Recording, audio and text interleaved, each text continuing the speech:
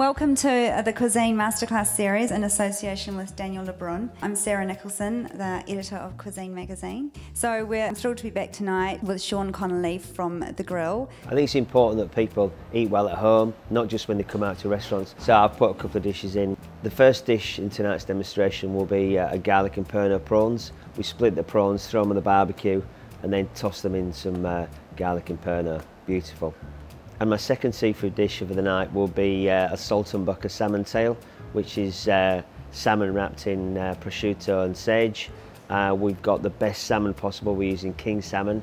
Uh, New Zealand's famous for its salmon with the crystal clear waters. The philosophy behind the dinner tonight, or the, the food tonight, is uh, on the bone and in the shell. That's where we began. whether it be um, you know, throwing mussels on a fire or throwing, you know, legs of goat on the fire. Uh, it's prehistoric, but it's true. So it's just all about on the bone cooking. I've got a couple of dishes here tonight. My first one is uh, a salmon tail. A salmon tail. Now these are actually a byproduct. These are things that people don't like to use, but if you like, if you go to your uh, fishmonger and ask them for a fish tail, there'll be heaps of them. I'm just um, going to cut around the edge here. What we're trying to do is make this look like a, a leg of ham. Anyway, we're just going to uh, cut around it. Ideally, what we should be doing is having this little bone here. Um, we're just going to get the ham out. I'm using uh, prosciutto here, but you can use ham on as well. I find when I'm using cutting salmon, uh, it really tastes lovely with that uh, really hammy, meaty, salty taste wrapped around it got some sage here as well. So we're just going to uh, mark up this fish. And what this will do is uh, it'll make it cook more evenly. So we're just going to uh, pop this sage on. You don't need to season this fish because because uh, it is quite salty with a ham on it. Wrap this around it. And it really is as easy as that. You can just do that with a little salmon fillet as well.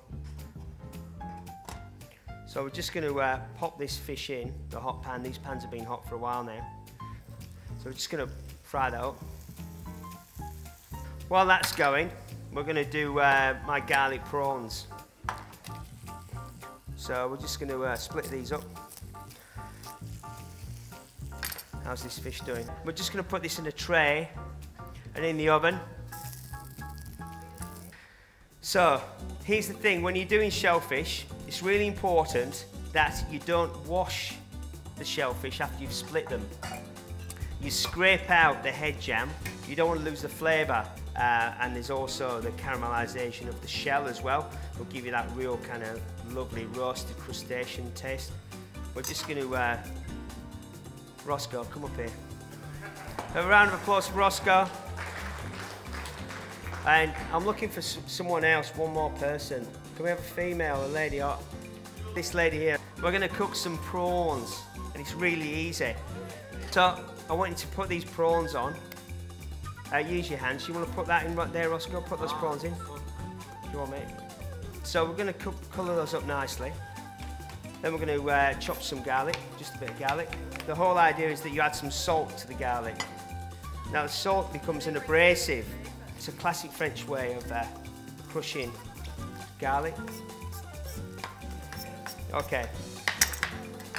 So what we're going to do, we're just going to flip them. There you go. What we're going to do is we're going to take these out for one moment, roughly. Okay, lovely. It's, it's not that posh, you can just go like that. Okay. Right, okay, we're going to put a little bit of oil in, a little bit of butter, just to get it going. We're going to drop our onions in. And we're going to drop in our garlic. Do you want to give that a stir, Roscoe? Focus, mate, focus. Come on. All right. so, you're doing a good job. That one over there, Roscoe. That one, mate. That one. That's already been done, geezer. You stand there with this. You stand there with this. Throw the head in. Oh, it's all flavour. I say uh, now. I know, I know. When, come here, come here. Come here. When I say now, go on, go in. Oh, there you go. there you go, Roscoe. That's yours, mate. Way, there you go. we love the fire. All right, it's as simple as that. They're done. Just keep tossing them, big man. Bit of parsley. And there we have our garlic and pernod prawns. That's simple. How good does that smell? Thank you. Thank you. Well, we try our best. We try. So just pop them on the uh, on the plate here. Just got to do this salmon, and basically should come out looking like this. So it's got this lovely uh, kind of tail, like like ham hock looking style. So,